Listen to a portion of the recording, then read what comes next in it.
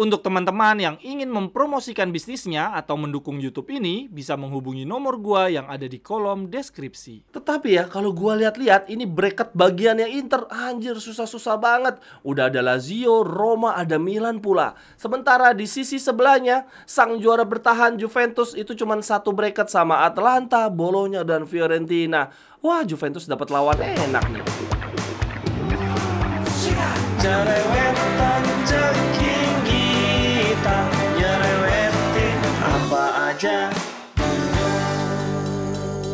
Teman-teman yang sedang kalian saksikan saat ini adalah Cerewetin Inter Apa kabar teman-teman semua? Semoga dalam keadaan sehat. Hari ini gue punya beberapa kabar menarik yang bisa kita cerewetin bareng-bareng teman-teman. Yang pertama gue mau update Mercato. Ini sejumlah sumber mengatakan bahwa Inter sudah memiliki nama baru nih Yang menjadi incaran untuk posisi center back kiri teman-teman. Yaitu back asal Argentina teman-teman. Masih sangat muda ya 21 tahun. Namanya adalah Thiago Thomas Palacios. Jurnalis TV Delo Sport namanya Gianluigi Lungari, dia mengatakan bahwa Inter sangat mengapresiasi Thiago Thomas Palacios dan telah mengikuti pemain berusia 21 tahun tersebut selama beberapa bulan terakhir. Back asal Argentina ini bisa menjadi pemain muda berkaki kiri yang menjanjikan yang sedang dicari klub untuk menjadi vice Bastoni. Lalu kemudian jurnalis Sky Sport Di Marzio juga memberitakan hal yang sama. Dia mengatakan bahwa ada nama terbaik yang kini muncul untuk menjadi back kiri Inter yaitu Thiago Thomas Palacios dan Mikael Faye. Siapa lagi nih Mikael Faye? Lalu berita yang kurang lebih sama juga disampaikan oleh jurnalis Calcio Nicola Sierra. Dia bilang, Again Mikael Faye telah bertemu dengan perwakilan Inter di Milano akhir pekan yang lalu. Wih, Nih nama-namanya semakin random saja teman-teman. Lalu ada dari media Portugal Abola. Mereka mengatakan bahwa Inter telah mengajukan tawaran resmi sebesar 18 juta plus bonus 4 juta untuk back Benfica Morata. Pihak dari klub Portugal tersebut telah menolak tawaran Inter karena menganggap sang pemain adalah bagian penting dari skuad. Anjir ini nama-nama yang sama sekali gue nggak pernah dengar sebelumnya teman-teman Tadi ada Thomas Palacios, ada Mikael Faye, lalu ini ada Morata Siapa lagi? Ini berhubung Inter sekarang sudah ganti kiblat ya arah transfer mengincarnya pemain-pemain muda potensial. Kok kalau gue lihat-lihat ya dari isu transfer nama-namanya makin random aja nih. Nama-nama yang sebelumnya tidak pernah terdengar. Beda banget dengan sebelumnya ya ketika Inter arah transfernya masih mengincar pemain-pemain veteran dengan status bebas transfer. Nah saat itu nama-nama yang berseliweran, nama-nama target Inter masih relatif nama-nama besar lah walaupun ya usianya udah sangat tua. Nah kalau yang sekarang ini benar-benar nama yang sangat amat random. Dan jujur aja gue khawatir peluang kita untuk flop ya Untuk transfer gagal lebih besar nih. Kalau kita mengincar pemain muda antah berantah yang belum terbukti kualitasnya. Coba aja kita lihat untuk tiga nama baru yang tadi disebutkan oleh berbagai sumber ya teman-teman. Sebagai nama yang saat ini sedang hangat dikaitkan dengan Inter ada Thiago Thomas Palacios, usianya masih 21 tahun. Lalu dia mainnya masih di Independiente, teman-teman, belum bermain di Eropa bahkan. Walaupun ini dari sisi postur sangat menjanjikan, tingginya 195 cm dan kemudian kidal. Lalu ada back Barcelona juga ya, Mikael Faye, usianya 20 tahun, dia asal Senegal, tingginya 186 cm. Lalu kemudian ini tadi ada pemain Benfica ya, back tengah kidal asal Brazil tingginya 192 yaitu Morata. Dan bahkan tadi media Portugal mengatakan bahwa Morata sudah ditawar secara resmi oleh Inter 18 juta plus bonus 4 juta tapi ditolak oleh Benfica. Ini buset deh, namanya juga baru denger eh Inter ditolak. Lalu kemudian lanjut berita Mercato lainnya dari kiper legendaris kita Andre Radu teman-teman. Ini jurnalis Calcio namanya Luca Bandoni mengatakan Andre Radu telah memberikan lampu hijau untuk pindah ke Sosolo. Detail akhir akan segera diselesaikan dan kiper asal Prancis tersebut akan pindah secara permanen, namun Inter tetap mempertahankan persentase penjualan di masa depan. Akhirnya pindah juga sang kiper legendaris secara permanen teman-teman. Lalu kemudian lanjut berita yang berikutnya dari daftar incaran Inter yang sudah didengang-dengungkan sejak 2-3 bulan yang lalu ya Yaitu Albert Gudmundsson. Ini ada berita dari berbagai sumber. Yang pertama dari jurnalis Calcio namanya Luca Cili. Dia bilang begini Incaran Inter Albert Gudmundsson telah meminta untuk meninggalkan Genoa dan akan segera menerima tawaran dari Fiorentina. Rabu waktu setempat bisa menjadi hari penting untuk mencapai kesepakatan. Hah, pala ke Fiorentina teman-teman. Lalu dari Di Marzio ya, jurnalis Sky Sport dia mengatakan, Fiorentina telah mempercepat lajunya negosiasi untuk mendapatkan target Inter Albert Gudmundsson dan bisa mencapai kesepakatan untuk merekrut sang penyerang tersebut besok. Wah, ini beritanya kemarin teman-teman. Besok berarti di hari ini nih, hari Kamis atau Jumat sepertinya Gudmundsson akan deal ke Fiorentina teman-teman. Jadi ini sebetulnya Inter Serius gak sih ngincar Gudmundsson anjir? Bisa kayak gini ya tiba-tiba sangat cepat mendekat ke Fiorentina. Padahal teman-teman sekitar satu atau dua hari yang lalu beredar kabar juga bahwa Inter mulai melakukan pergerakan untuk mendapatkan Gudmundsson Gue udah sempat pede juga tuh Inter bisa dapetin Gudmundsson Eh kok sekarang malah deketnya ke Fiorentina? Ini salah satu beritanya dari Gazeta teman-teman yang mengatakan bahwa Inter masih punya peluang untuk mendapatkan Gudmundsson Gazeta bilang begini Kesepakatan untuk merekrut Albert Gudmundsson bisa saja terwujud setelah pertandingan perdana Serie A yang kebetulan menghadapi klub dari Gudmundsson sendiri yaitu Genoa. Genoa juga sangat menyukai Arnautovic dan bisa saja melibatkan penyerang Austria tersebut dalam kesepakatan. Lalu Gazeta juga menegaskan bahwa kasus pelecehan yang dilakukan oleh Albert Gudmundsson adalah hal yang menghalangi Inter untuk menandatangani kontrak secara permanen penyerang Islandia tersebut. Karena nanti sang striker harus hadir di negaranya untuk menjalani proses pengadilan selama beberapa kali. Wah ya pantas aja Inter Marota tidak terlalu ngotot ya untuk mendapatkan Gudmundsson karena ternyata sang pemain nanti harus absen beberapa kali, harus kembali ke negaranya ya untuk menjalani persidangan.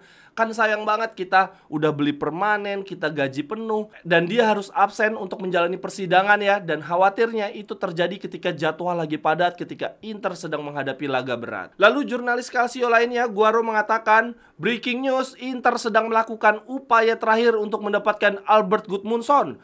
Klub telah meminta informasi secara resmi untuk penyerang Islandia tersebut. Simone Inzaghi sangat menginginkan sang penyerang." Genoa juga tertarik memasukkan Arnautovic atau Korea dalam kesepakatan, tetapi condong ke arah penyerang Austria. Tuh kan teman-teman, sebetulnya memang sempat ada titik terang satu dua hari yang lalu ya, berbagai sumber mengatakan bahwa Inter kembali ke perburuan Gudmundsson ya.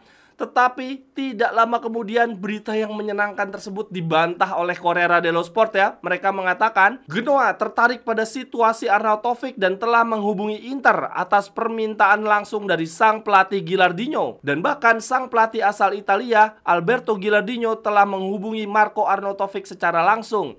Tetapi sang penyerang asal Austria menyatakan lebih ingin bertahan di Inter. Hah, Arnautovic, Arnautovic lo kok malah nyebelin anjir. Udahlah terima aja tawaran Genoa.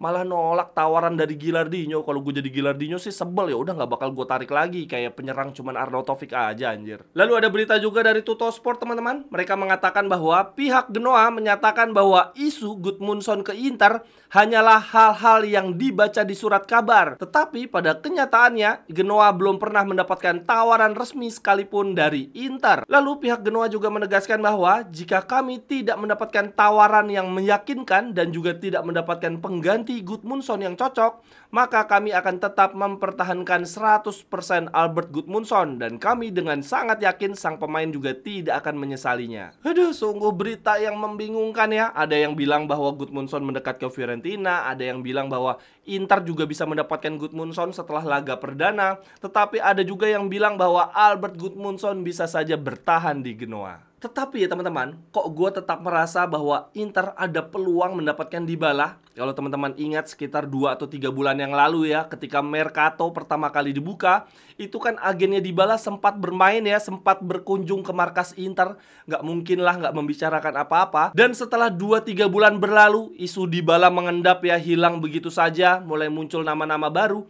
Eh kok sekarang teman-teman, sekitar satu atau dua hari yang lalu, muncul berita ya bahwa Dybala akan keluar meninggalkan Roma teman-teman Menurut gua ini nasibnya Dybala sangat mengenaskan lah Untuk ukuran pemain yang sangat jago ya Di dia didepak oleh Juventus karena urusan gaji dan sekarang mau didepak juga oleh Roma karena urusan gaji juga teman-teman. Roma saat ini menganggap bahwa gaji Dybala 6 juta terlalu tinggi. Lah kemarin-kemarin ke mana aja anjir? Kan yang bersepakat tentang gaji mereka juga. Sekarang malah nganggap gajinya si Dybala terlalu tinggi. Jurnalis Calcio namanya Nicola Sierra mengatakan Paulo Dybala belum mengubah rencananya. Dia tetap ingin bertahan di AS Roma. Tapi Roma telah membuka pintu lebar-lebar untuk penjualan penyerang Argentina tersebut. Gaji 6 juta per tahun dianggap terlalu tinggi oleh Roma dan La Joya tidak lagi dimasukkan sebagai pemain yang tidak tersentuh. Dybala bukan lagi dianggap sebagai pemain kunci pada proyek Giallorossi di masa depan. Lalu kemudian Fabrizio Romano juga menegaskan bahwa Dybala akan meninggalkan Roma. Kontrak 3 tahun dengan Al segera disepakati klausul pelepasan 12 juta sudah tidak berlaku lagi sekarang dan klub Saudi tersebut sedang negosiasi harga dengan Roma. Klausul pelepasan sebesar 12 juta sudah tidak berlaku lagi dan klub Saudi tersebut sedang melakukan negosiasi harga dengan Roma. Ih, aduh, ayo Marota, walaupun dari sisi uang ya, jelas kita pasti kalah lah. Kita tidak punya uang untuk membeli dengan harga yang besar, tidak mampu menggaji tinggi-tinggi juga. Tapi gua rasa Dybala dengan usia 30 tahun masih berhasrat bermain di level tertinggi ya. Alexis Sanchez aja masih pingin main di Serie A, bahkan bermain dengan klub selevel Udinese. Apalagi Dybala nih, pasti tergiur lah kalau ditawar oleh Inter. Tapi kan ya permasalahannya Oktri, apa mau ngeluarin uang untuk pemain usia 30 tahun? Teman-teman yang ingin membeli jersey atau pernak-pernik sepak bola lainnya, linknya ada di kolom deskripsi ya. Terima kasih. Lalu kemudian lanjut berita yang berikutnya teman-teman Gue mau update kabar dari pemain-pemain kita yang mengalami cedera Yaitu yang pertama Calhanoglu, Taremi, dan Arnautovic sudah berlatih bersama dengan tim Ketiganya siap tampil di partai lawan Genoa Meskipun tidak menjadi starter Wah syukurlah ketiga pemain ini sudah kembali berlatih ya khususnya Calhanoglu. Gue yakin Calhanoglu bisa jadi starter sih karena kan dia absen di partai lawan Chelsea bukan karena cedera ya, lebih karena kelelahan. Berarti kan dia cukup istirahat dan akan bugar kembali. Lalu untuk Taremi Arnautovic ya sudah sangat bagus lah ada di bangku cadangan ya khususnya Taremi semoga bisa masuk di babak kedua dan mencetak gol di debutnya. Sedangkan untuk pemain baru kita lainnya Zelinski sudah berlatih juga di lapangan teman-teman walaupun masih sesi latihan individu ya. Ini jurnalis Calcio mengatakan bahwa Zelinski meskipun sudah pulih tetapi tetap akan absen di partai lawan Genoa. Lalu FC Internews juga mengatakan hal yang sama. Peter Zelinski tidak akan tampil di partai perdana melawan Genoa. Gelandang Polandia tersebut mengalami masalah otot di pertandingan persahabatan lawan Pisa dan tidak akan tampil di laga perdana melawan Genoa yang dijadwalkan bermain pada 17 Agustus nanti. Harapannya, menurut FC Internews, Zelinski akan bugar 100% di laga kedua melawan Lecce. Ya nggak apa-apa lah. Absen aja di lawan Genoa ya. Kayaknya Genoa juga tidak terlalu berat. Kita masih punya Calhanoglu, Aslani, Fratesi, dan Mikitarian juga. Tetapi setidaknya semoga Zelenski bisa bugar ya 100% di partai kedua. Lalu kalau menurut Sky Sport teman-teman Mereka mengatakan bahwa Stephen De Vrij menjadi satu-satunya pemain yang akan absen di partai perdana lawan Genoa. Lalu kemudian lanjut berita yang berikutnya lagi teman-teman. Ini sudah keluar ya jadwal bracket untuk Coppa Italia musim ini. Waduh Inter untuk di laga perdana akan menghadapi pemenang antara Salernitana dan Udinese. Ini lawan yang relatif mudah dibandingkan dengan lawan perdana kita di musim lalu ya. Mosok laga perdana kita langsung lawan Genoa dan gugur. Nah, yang menarik dari bracket kali ini teman-teman, di partai semifinal ini berpeluang terjadi derby ya antara derby della Madonnina Inter lawan Milan atau derby della Capitale Lazio melawan Roma. Atau bisa juga justru tidak terjadi derby sama sekali, salah satu antara Inter dan Milan akan menghadapi salah satu antara Lazio dan Roma. Tetapi ya kalau gua lihat-lihat ini bracket bagiannya Inter anjir susah-susah banget. Udah ada Lazio, Roma, ada Milan pula. Sementara di sisi sebelahnya sang juara bertahan Juventus itu cuma satu bracket sama Atlanta, Bologna dan Fiorentina. Wah, Juventus dapat lawan enak nih. Lalu kemudian lanjut berita yang berikutnya lagi. ESPN baru saja merilis 50 pelatih terbaik di dunia versi mereka. Dan secara mengejutkan ada Inzaghi di nomor 7 teman-teman. ESPN sedikit memberikan ulasan tentang Inzaghi. Mereka bilang begini. Inzaghi mengakhiri tahun ketiga masa jabatannya di Inter dengan memenangkan gelar Serie A. Dengan cara yang sangat mengesankan. Inter asuhannya tidak hanya mencetak lebih banyak gol dibandingkan klub mana pun di Serie A. Namun juga memiliki kebo kebobolan paling sedikit di antara klub mana pun di lima liga besar Eropa. Gokil. Sebagai penggemar sistem 352, Inzaghi secara bertahap menciptakan tim yang solid dan terstruktur. Para gelandang tengah mereka sering berpindah posisi secara alami dan bermain dengan dua penyerang tengah yang sangat mendukung sang pencetak gol terbanyak Lautaro Martinez untuk mendapatkan ruang saat menyerang. Saat ini hanya ada sedikit manajer di Eropa yang mampu menciptakan 11 pemain terorganisir dengan baik selain Inzaghi. Waduh, ESPN memuji setinggi langit Inzaghi teman-teman. Ada apa ini? Sekian dulu untuk cerewetin Inter hari ini teman-teman. Silahkan tuliskan pendapat teman-teman di kolom komentar. Sampai ketemu di cerewetan-cerewetan berikutnya. Bye-bye, thank you. Cerewetan